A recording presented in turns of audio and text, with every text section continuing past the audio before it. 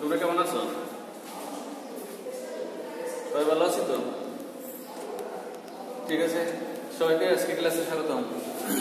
আজকে আমরা নতুন নতুন চ্যাপ্টারের নতুন টপিক দেখব। তোমরা মনে জানো যে বর্তমান পদ্ধতিতে আগে এক সময় ছিল এরকম যে ফার্স্ট ইয়ারে শুধু ফার্স্ট পেপার দেখানো হতো সেকেন্ড ইয়ারে সেকেন্ড পেপার দেখানো হতো।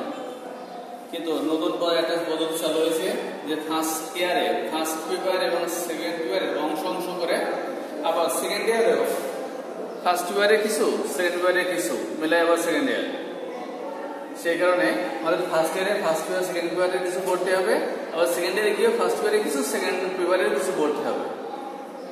আর ফার্স্ট ইয়ারে সেকেন্ড পেপারে যে চ্যাপ্টার থেকে আমাদের কোশ্চেন হয় এবং হবে, সেটা হচ্ছে দ্বিতীয় পত্রের প্রথম অধ্যায়। আমরা আজকে দেখব দ্বিতীয় পত্রের প্রথম অধ্যায়। একটা অত্যন্ত গুরুত্বপূর্ণ বিষয় আমরা আলোচনা করব, যেখান থেকে কলেজ পরীক্ষা এমনকি বোর্ড পরীক্ষাতেও কোশ্চেন হয় মানে হবে। সবাইকে স্বাগতম। আবারও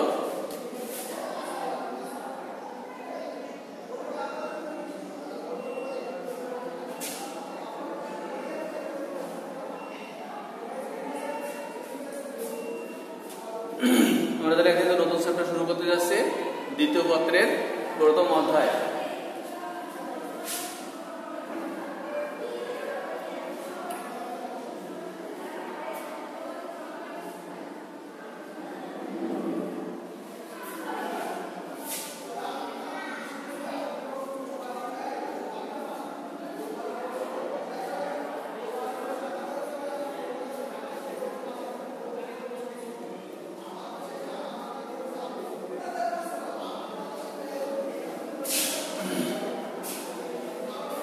দেখো তো একটু বই খুলে দেখো যে দ্বিতীয় পত্রের প্রথম অধ্যায় কি আছে। দেখো, তারপরে আমি বসে আজকে আমরা দ্বিতীয় পত্রের প্রথম অধ্যায় কোন টপিকটা আজকে আলোচনা করব। তোমরা একটা বইগুলো দেখো যে কি কি আছে।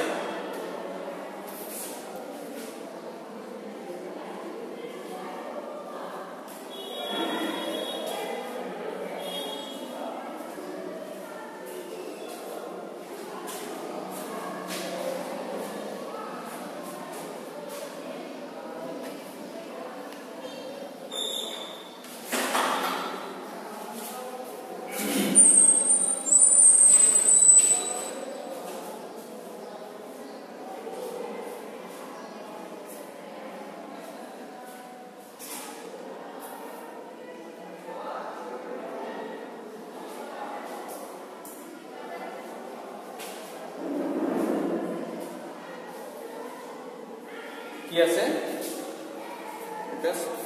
হ্যাঁ তাহলে দেখছ কি আছে? ওখানে প্রথমে কিছু কিছু আছে। ওগুলো আমরা একটু শুধু রিডিং করব আর আন্ডারলাইন করে রাখব এমসিকিউ এর জন্য। ওখান থেকে প্রথম জায়গা দেখো, প্রথম যে টপিকগুলো রয়েছে, ওখান থেকে কোনো আমাদের সৃজনশীল কোশ্চেন হবে না। সৃজনশীল কোশ্চেন যেখানে হবে, মূলত আমি সেখানে সরাসরি চলে দেখো গ্যাস বলে একটা অংশ আছে, ওখানে দেখো। এই চ্যাপ্টার দ্বারা একটা তথ্য তোমাদের বলে, এই চ্যাপ্টারে দুইটা অংশ আছে, একটা গ্যাস তথা গ্যাসের সূত্র সমূহ আর একটা অংশ আছে দেখবা অ্যাসিড বেস অর্থাৎ অম্ল ক্ষরক সম্পর্কিত আলোচনা। এই চ্যাপ্টারটাকে আমরা দুই ভাগে ভাগ করে পড়ি, তাহলে আমরা এখান থেকে প্রথম ভাগ থেকে বোর্ড পরীক্ষাতে কথা বলছে। প্রথম ভাগ থেকে দেখব আমরা একটা কোশ্চেন পেতে পারি, আর দ্বিতীয় অংশ, অর্থাৎ অ্যাসিড বেস থেকে একটা কোশ্চেন পেতে পারি। অর্থাৎ এই একটা চ্যাপ্টার থেকে আমরা দেখব নাকি দুইটা, দুই সেট কোশ্চেন পেতে পারি।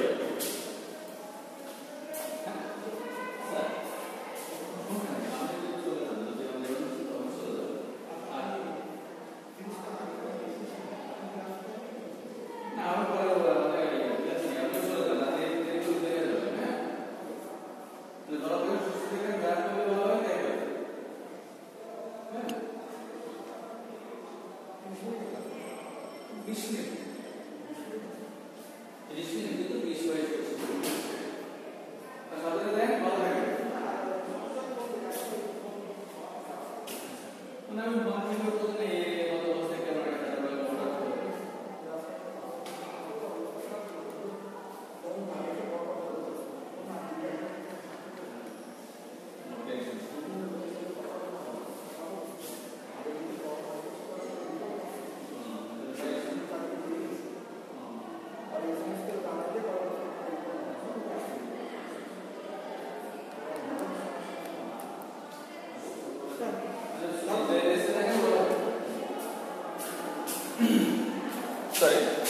তাহলে ওখানে আমরা কি বললাম যে, এই হিসাবে দুটো অংশ থেকে মানে একটা আছে, গ্যাসের সূত্র সহ ওই, এই অংশ থেকে আমরা বোর্ড পরীক্ষা এবং কলেজ পরীক্ষাতে একটা কোশ্চেন অ্যাকসেপ্ট কোশ্চেন পেতে পারে, আবার অ্যাসিড পেতে ওই অংশ থেকে অ্যাকসেপ্ট কোশ্চেন পেতে পারে। আমরা আজকে প্রথমে দেখব গ্যাসের সূত্র সমূহ বলতে কি বুঝি এবং সেই সূত্র সমূহ তার আগে আমরা বলি যে, সমূহ শব্দের অর্থ কি? তোমরা জানো মানে কি একের অধিক একাধিক, একাধিককে আমরা সংক্ষিপ্ত একটা বাংলায় এক শব্দে বলি কি সমূহ তাহলে গ্যাসের সূত্র সমূহ বলতে আমরা এখানে বুঝতে পারতেছি যে গ্যাসের মনে হয় একাধিক সূত্র আছে, সেই সূত্র কয়টাকে একসাথে আমরা বলছি গ্যাসের সূত্র সমূহ। তাহলে তাহলে এই মুহূর্তে আমরা যে আলোচনা করতে যাচ্ছি, যে আলোচনা করতে যাচ্ছে, গ্যাসের সূত্র সমূহ, তাহলে আগে মনে হয় জেনে নেওয়া উচিত, গ্যাস বা গ্যাস কাকে বলে বা গ্যাস বলতে কি বুঝে? তারপরে না গ্যাসের সূত্র নিয়ে আমরা বিস্তারিত আলোচনা করব। তাই তো? তাহলে আমরা আমরা আজকে দেখব গ্যাসের সূত্র সমূহ গ্যাসের সূত্র সমূহ ওকে? গ্যাস, তাহলে আগে আমরা জেনে নিই, গ্যাসটা কাকে বলে? গ্যাস যে কোনো বলো hydrogen gas nitrogen gas, oxygen gas chlorine gas gas প্রত্যেকটা গ্যাসের এটা একটা পদার্থ। আর আমরা জানি পদার্থ গঠিত হয় কি? ওই পদার্থের অসংখ্য অণু দ্বারা।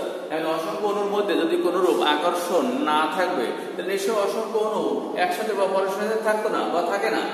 যেহেতু আমরা গ্যাসীয় পদার্থ পাচ্ছি, তাহলে বুঝতে হবে যে গ্যাসীয় পদার্থের অনুসারের মধ্যে অবশ্যই অবশ্যই আকর্ষণ আছে। কারণ আকর্ষণ না থাকলে আমরা গ্যাসীয় পদার্থের অস্তিত্ব দেখতে পারতাম না। যেহেতু অস্তিত্ব পাচ্ছি, দেখছি, ব্যবহার করছি, তাহলে আমাদের বলতে আমাদের কোনো বাধা নেই। যে পদার্থের অনুসারের মধ্যে অবশ্যই আকর্ষণ আছে। তাহলে গ্যাসীয় পদার্থের অনুসারের মধ্যে আকর্ষণ বেশি না কম? হ্যাঁ এই নিয়ে বিতর্ক হইতে পারে। হ্যাঁ যখন গ্যাসীয় পদার্থ পদার্থের যে কোনো পদার্থ, সে কঠিন হোক, তরল আকার গ্যাস হোক, যে কোনো পদার্থ গঠিত হয় অসংখ্য অণু এই অসংখ্য অণুর মধ্যে যখন আকর্ষণ সব থেকে বেশি থাকে, তখন পদার্থের ভৌত অবস্থা হয়ে যায় কি? কঠিন। আর আকর্ষণ যখন কঠিনের তুলনায় অনুসরণ মধ্যবর্তী আকর্ষণ যখন আর আমরা জানি মনে হয়, অনুসরণ মধ্যবর্তী আকর্ষণ বলকে আমরা কি বলি? আন্ত আণবিক আকর্ষণ বল বা আন্ত আণবিক শক্তি আমরা কি বলব? যখন অনুসরণ মধ্যবর্তী আকর্ষণ বলের মান সবচেয়ে বেশি, তখন পদার্থের ভৌত অবস্থায় কঠিন। তার থেকে যদি একটু কম হয়, তখন পদার্থের ভৌত অবস্থায় তরল। আর যখন পদার্থের অনুসরণ মধ্যবর্তী আকর্ষণ বল তরলের থেকেও কম তখন পদার্থের ভৌত অবস্থায় গেছে। ক্লিয়ার সংখ্যা তিনটা এবার আমরা কঠিন আতরণ আপাতত মান, এই মুহূর্তের পর থেকে আমাদের সমস্ত আলোচনা হবে পদার্থের গ্যাসীয় অবস্থা নিয়ে। অর্থাৎ গ্যাসের বাইরে আমি যত কথাই বলে, মনে রাখব আমরা, পদার্থের গ্যাসীয় অবস্থা নিয়ে আলোচনা করছি। আমি গ্যাস বলি বা না বলি, সবসময় আমরা ভাববো, যা কথা হচ্ছে সব গ্যাস সংশ্লিষ্ট। ওকে তাহলে আমরা গ্যাসের সংখ্যা বুঝলাম। এবার গ্যাসের সূত্র, এই যে সমূহ, এই সমূহ বলতে কি বুঝি এটা আমরা দেখব। সমূহ বলতে একাধিক যেহেতু বুঝি। তাহলে বলা হয়েছে কি, তার আগে আমরা কিছু পরিচয় দিয়ে নিই। গ্যাসের গ্যাসের ক্ষেত্রে এই যে গ্যাসের গ্যাসের ক্ষেত্রে যে তাপমাত্রা কিন্তু এখানে একটা কথা বলতে হবে গ্যাসের পরম তাপমাত্রা পরম তাপমাত্রা এখানে প্রকাশ করব বড় হাতের টি গ্যাসের চাপকে আমরা প্রকাশ করব পি দ্বারা গ্যাসের আয়তনকে গ্যাসের আয়তনকে আমরা লিখব ভি দ্বারা আর গ্যাসের মোল সংখ্যাকে আমরা প্রকাশ করব ছোট হাতের এন দ্বারা বিভিন্ন বিজ্ঞানী বিভিন্ন বিজ্ঞানী বিভিন্ন বিজ্ঞানী এই গ্যাসের গ্যাসের এই তাপমাত্রা গরম তাপমাত্রা বলব কিন্তু তাপমাত্রা কিন্তু আসলে বোঝাচ্ছি কিন্তু গরম তাপমাত্রা। বলছি আমরা তাপমাত্রা কিন্তু বুঝে নেব গরম তাপমাত্রা বা কেন্দ্রিক তাপমাত্রা। তোমরা মনে জানো তাপমাত্রার আর একটা নাম আছে ওই তাপমাত্রা কে গরম তাপমাত্রা কে আর একটা নাম আমরা ডাকি কেন্দ্রিক তাপমাত্রা। তো আমরা শুধু সহজে বলব গরম তাপমাত্রাকে তাপমাত্রা। কিন্তু বুঝব গরম তাপমাত্রা বোঝাচ্ছে। তাহলে এবার বলছে এই সময়ের ব্যাখ্যা ব্যাখ্যা দিচ্ছি বা সংখ্যা দিচ্ছি। বিভিন্ন বিজ্ঞানী বিভিন্ন বিজ্ঞানী গ্যাসের এই যে যে রাশিগুলো লিখছি, কি গ্যাসের পরম তাপমাত্রা চাপ গ্যাসের আয়তন এবং গ্যাসের মোট সংখ্যা নিয়ে বিভিন্ন বিজ্ঞানী গবেষণা করছেন সব বিজ্ঞানের গবেষণা নিশ্চয়ই সঠিক বলে গৃহীত হয়নি, হয়ও না। যাদের মতবাদ সমূহ সঠিক বলে গৃহীত হয়েছে, সেই মতবাদ সমূহে আমরা যদি যে সূত্রগুলো সঠিক বলে গৃহীত হয়েছে, সেই সূত্রগুলোকে একত্রে বলা আছে গ্যাসের সূত্র সমূহ বুঝতে পারছি আমি আরেকবার বলে দিচ্ছি যে বিভিন্ন বিজ্ঞানী গ্যাসের তাপমাত্রা চাপ আয়তন এবং মোল সংখ্যা নিয়ে গবেষণা করে গবেষণা করেছে। সবার মতবাদ নিশ্চয় সঠিক বলে গৃহীত হয়নি। যেসব বিজ্ঞানীর আবিষ্কার বা মতবাদ সমূহ সঠিক বলে গৃহীত হয়েছে, সেই তাদের সবাই সূত্রগুলোকে একসাথে বলা হচ্ছে গ্যাসের সূত্র সমূহ।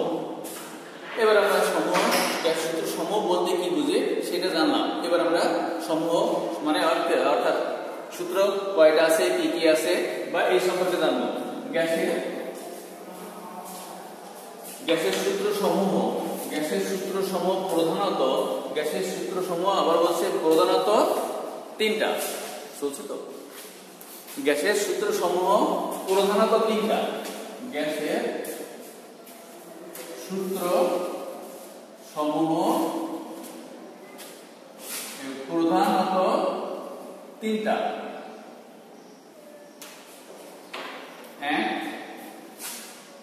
বয়েলের সূত্র দুই সালসের সূত্র তিন অ্যাভোগাড্রোর সূত্র এই তিনটা আছে গ্যাসের সূত্র সময়ের প্রধানত অর্থাৎ গ্যাসের সূত্র সমূহ প্রধানত তিনটা বয়েলের সূত্র সালসের সূত্র আর একটা কি বললাম অ্যাভোগাড্রোর সূত্র যে তিনটা প্রধানত লিখছে তাহলে তোমাদের বুঝতে বুঝতে হবে যেহেতু প্রধানত তাহলে তার মানে কি যেমন একটা প্রতিষ্ঠানে যদি প্রধান থাকে তাহলে সহকারী প্রধান থাকে। তাহলে যেহেতু এখানে প্রধানত লিখছে, তাহলে বুঝতে হবে এর বাইরেও মানে আরও কিছু সূত্র থাকতে পারে। হ্যাঁ আরও কয়েকটা সূত্র আছে? এছাড়াও এই প্রধানত তিনটা ছাড়াও আরও দুইটা গুরুত্বপূর্ণ সূত্র আছে। তোমরা কি লিখব এ ছাড়াও আরও দুইটি সূত্র আছে। চার নম্বর হলো গ্রামের ব্যাপন সূত্র। আর পাঁচ নম্বরে আছে ডালটনের আংশিক চাপ সূত্র এ আছে, মোট পাঁচটা সূত্র প্রধানত তিনটা, তাছাড়াও আরও দুটো সূত্র আছে, আরও দুটো সূত্র আছে। তার একটা হলো গ্রামের ব্যাপন সূত্র, আর পাঁচ নম্বর আছে ডালটনের আংশিক চাপ সূত্র। এ আছে গ্যাসের সূত্র সমূহ কি কি? সেটা। এবার আমরা একটা একটা করে বিস্তারিত আলোচনা করব। আজকে আমরা দেখব কি গ্যাস সূত্র প্রধানত তিনটা প্রথমটা অর্থাৎ বয়েলের সূত্র নিয়ে আমরা বিস্তারিত আলোচনা করব আজকে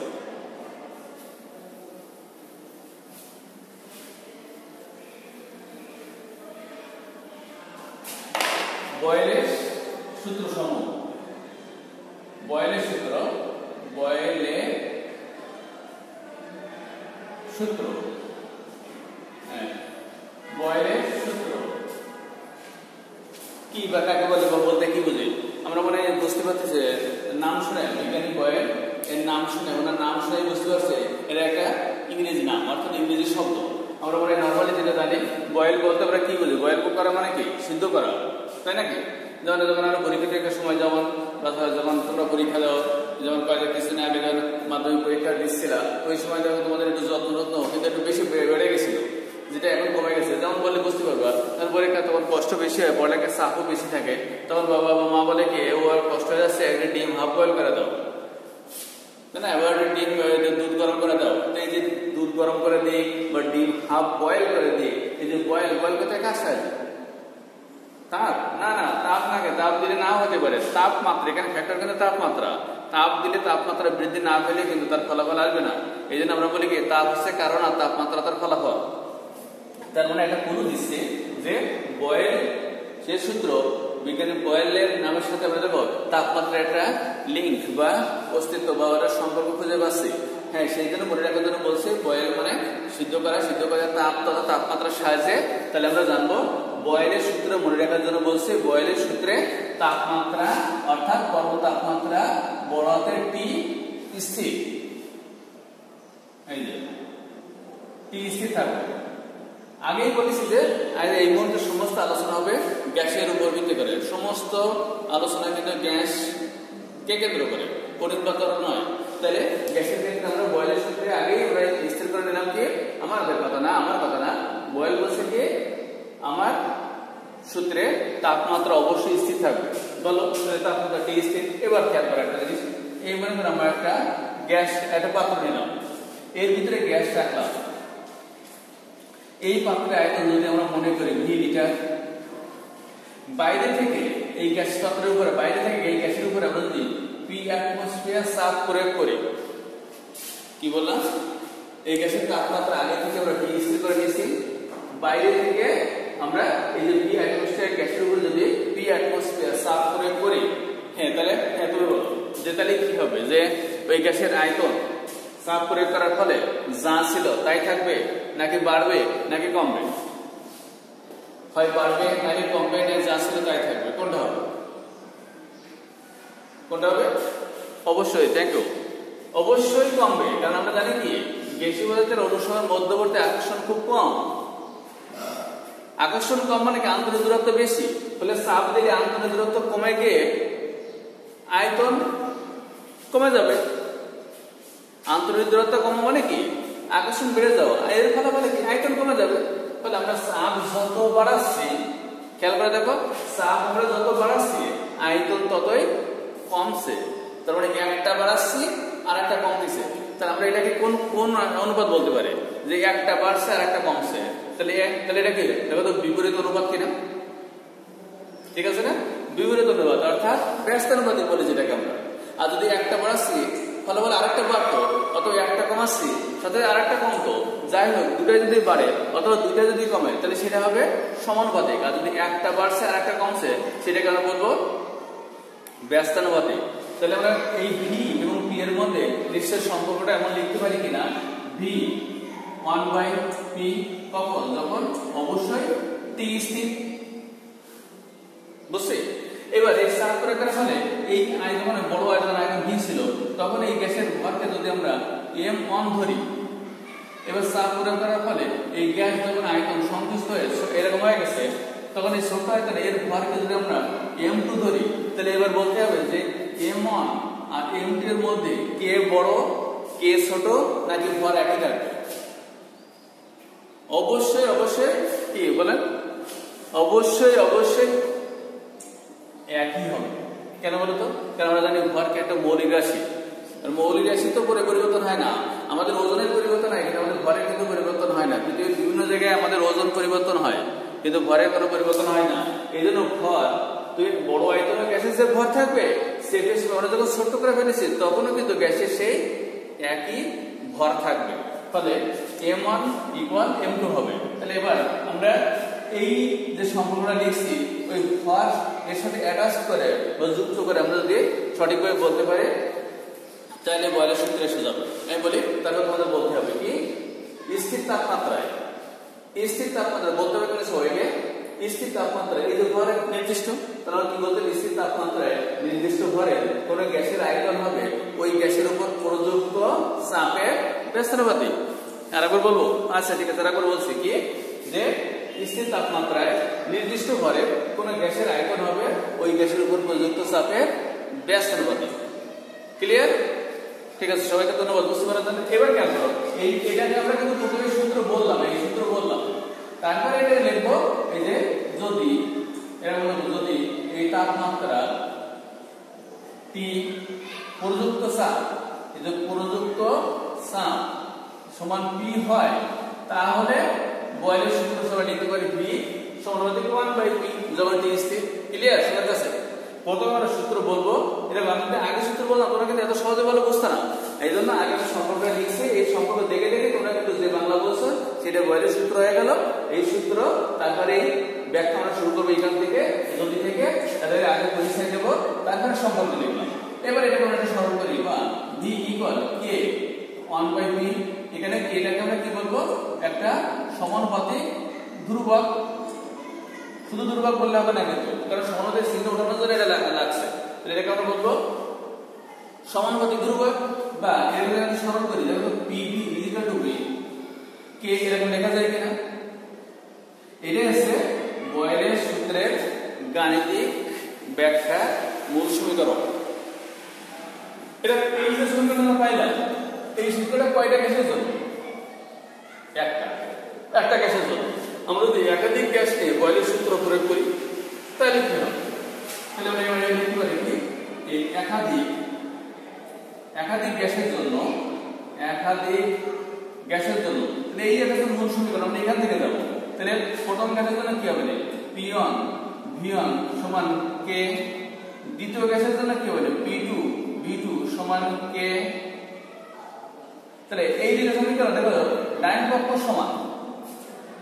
আমরা জানি একাধিক সমীকরণ যদি ডাইন পক্ষ সমান হয়, তাহলে অবশ্যই বাম পক্ষ সমান হয়, অথবা বাম পক্ষ যদি সমান হয়, তাহলে অবশ্যই অবশ্যই ডাইন পক্ষ সমান হয়। তাহলে যেহেতু এরকম আমরা যদি আরেকটা লিখতাম মানে আরেকটা গ্যাসের জন্য লিখতাম মানে কি লিখতাম পি থ্রি এই ভি থ্রি ইকুয়াল কে আরেকটা যদি লিখতাম P four V four equal K এগুলো সব ডাইন পক্ষ সমান। তাহলে ডাইন পক্ষ যদি সমান হয়, তাহলে অবশ্যই সেই সব সমীকরণের বাম পক্ষ সমান। তাহলে আমরা এই সমীকরণ করে আলোকে কি লিখতে পারি? অতএব পি ওয়ান ভি ওয়ান সমান পি টু ভি টু সমান পি থ্রি ভি থ্রি সমান পি ফোর ভি ফোর সমান dot dot dot equal K ইহায় ইহায় বয়েলের সূত্রের গাণিতিক ব্যাখ্যা। এসে বয়েলের সূত্রের বিস্তারিত। যদি কারও কোনো প্রশ্ন থাকে, এর মধ্যে যে কোনো প্রশ্ন থাকে এর মধ্যে যাবে। যে কোনো প্রশ্ন কারণ নেই। তোমরা ভালোই বুঝতে পারছ। ধন্যবাদ সবাইকে। এটা সুন্দর বুঝতে পারার জন্য। তারপরে বাসায় গিয়ে বলতে গিয়ে যদি কোনো সমস্যা মনে করো বা সমস্যা বোধ হয়, তাহলে অবশ্যই স্যারকে অনলাইনে যোগাযোগ করলে যে কোনো সময় স্যার তোমাদের সমস্যা সাহায্য করবে। হ্যাঁ, তাহলে আমরা আগের দিন তোরা বই থেকে দেখে এসে আমরা দুই নম্বর সূত্রটাকে সালসের সূত্র, আমরা আগের দিন সালসের সূত্র বিস্তারিত এই বইটা যেমন আজকে বিস্তারিত আলোচনা করলাম। আগামী দিন আমরা সালসের সূত্র বিস্তারিত আলোচনা করব। ওকে সবাই ভালো থাকি সুস্থ থাকি